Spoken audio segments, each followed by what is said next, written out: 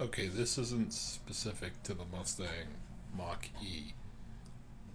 But one thing I've noticed is Android Auto, when wireless, does not work uh, consistently. Uh, you get uh, drops and some choppiness. For me, the best way to do it is to always be hardwired, but sometimes that wireless connection connects quicker than um, me plugging in the wire.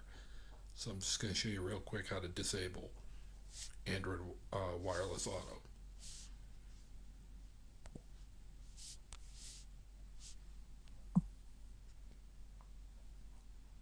Go into notifications because that is super convenient.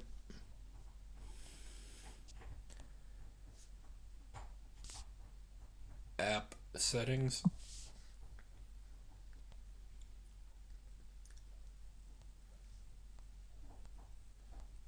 You want to find Android Auto in this list. And down here at the bottom, you can toggle Android Auto, Auto Wireless. I'm going to go ahead and keep that off.